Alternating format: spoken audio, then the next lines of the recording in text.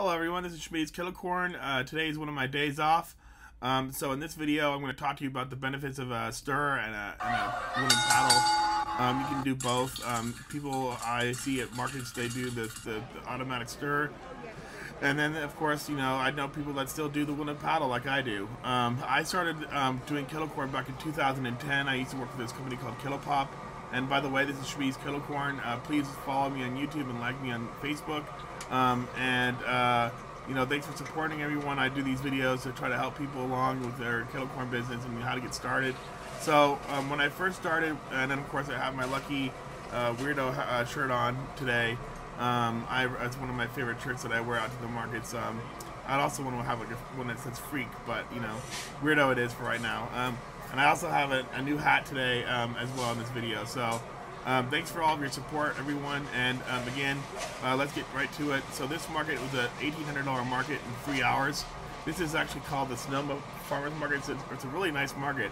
In fact, if you ever are going to visit California and tour, Sonoma is a very nice place to visit. In fact, one of the nice things about this market is that you can actually walk around and drink wine.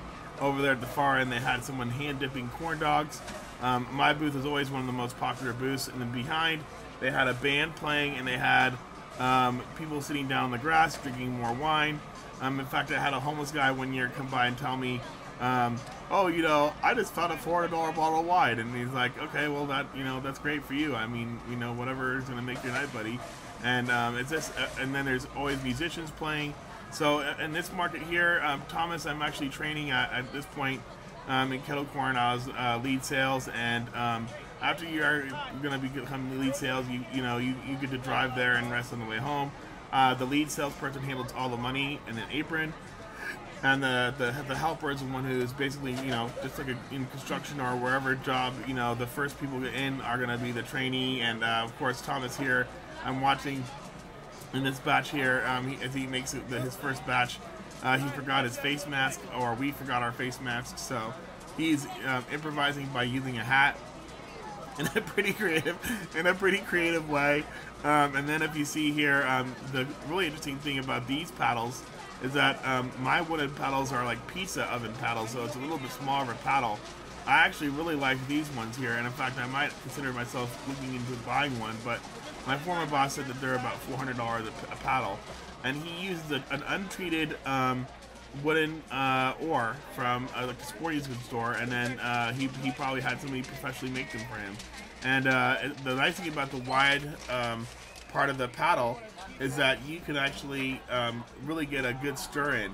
And um, from what I've heard, versus this the stir versus the wooden paddle, I also heard that this I don't I don't know if this is true or not because I've never used a stir except for maybe two or three times and each time the stirrers never worked properly. The batteries always are were dead or were not fully charged, and sometimes we even went out and used generators, and so it just wasn't really reliable enough to where if I use a stir, hands down, um, the stir always um, the, the uh, not not the stir. I get my words mixed up. Hands down, the paddle always won for me because I could do um, myself in one four-hour period, a thousand to fifteen hundred dollars just on kettle corn alone with a paddle. I can stir and then and then bag, stir, bag, handle, cash, and pop. And um, at the end of the day, the one thing that I've learned in sales is that if you have a really busy booth, people will learn how um, to wait. They'll wait for a really good product.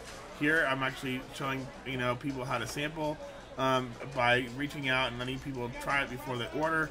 That also keeps them a little more patient by waiting in line. Um, and I did all the bagging and the, the, the cash handling while Thomas did the lemonade. And um, we did lemonades for $3 at the time. And we used the, the, lemonades were a big pain as well as doing this the, the, the kettle corn because it just took away time from actually having us to clean up. And, and then of course we had a tip jar there. You see that tip jar is full we used to make between 30 or so a day in tips, uh, and we'd split uh, split the tips and um, uh, th- this is pretty much our setup. The one thing that was also kind of annoying versus Maryland versus California is that if the screen setup, we had to put screens up in all areas of our booth. In some areas, we actually had to put up a screen in the very front, and and that was a real deterrent because you know you want to see the, the popcorn being made, and here's a line of people. I have a line of people all the way down the street um, and and and once you see it being made, that's how you get people to come in. You know, you got to bring people in as well. And uh, once you and, and one thing that I've also learned is that the herd the herd um, mentality, the herd mentality is uh, is really uh, um, one thing that you learn while you're doing this business. Once you see it being made, you're waiting in line. The, the longer that somebody waits in line with you, um, you know, the more that they're going to buy, and the more people are going to come by and see you uh, buy the stuff. So here these, these kids waiting, and here I am bagging and um, there's everyone's just really you know wanting that fresh hot popcorn, and uh, it's constantly batch after batch after batch, and of course here these kettles, man, they've had a lot of miles. Uh, they start they've been in business for you know 10, 15 years probably now, and they still do these markets, and those kettles are still what they'll do is they'll grind them all down and then they spray paint them black. But yeah, um, this is pretty much where I got you know the idea to do the kettle corn on my own, and um, I still use a paddle the same way. I get my wooden pedals from Restaurant Depot, and um, at the end of the day, um, I know for the only drawback with the paddle. So what I do is I keep another paddle on me at all times. So if my paddle breaks, then I have another one as a backup. Um, one a few different times I've broken a paddle, or I threw it on the ground and it chipped. And you know you can't have a chipped paddle in your popper. You can't have a chipped paddle and risk pieces of wood going into your popcorn. And other than that, you know, if you keep your your your your paddle safe from uh, dropping it or stepping on it, like I have done a few times. Um, in fact, I was in an area one year where um, I forgot my paddle and had to tell all these people that I couldn't sell because I didn't have my paddle. And so, you know, having a, a checklist is very important.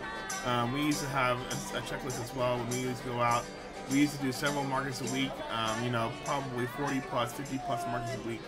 And um, and that's just pretty much uh, what got me into doing my own business. I, I'm only doing five markets a week, and what I do now is nothing compared to what I used to make kettle, kettle pop.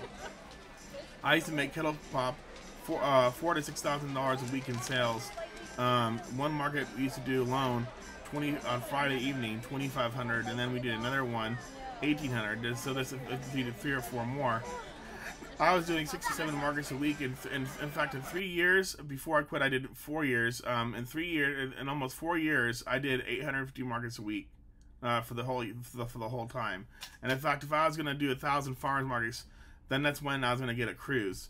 So again, um, thanks for watching, everybody. Um, this is uh, the Sonoma Farmers Market. Um, if you're ever going to tour the area, maybe Kettle Pop is still there. Um, but again, I'm not going to buy no, um, uh, you know, $15 bag of popcorn. But uh, good luck with everybody getting started. This is Schmidty's Kettle Corn. Please like and subscribe. And if you found this information useful, um, give me a shout out. And if you have any further questions, feel free to ask below. I really appreciate all the positive feedback I've been getting from these videos. I just ordered myself a new camera, so I plan on doing some more professional videos on the outside as well. Um, and thanks again. Um, uh, take it easy, guys.